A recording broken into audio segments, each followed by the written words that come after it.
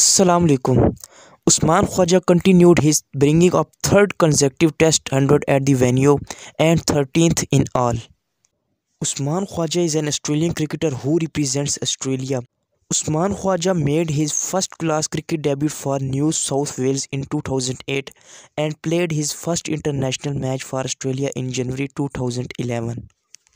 Thanks for watching. Subscribe Voice of Usama.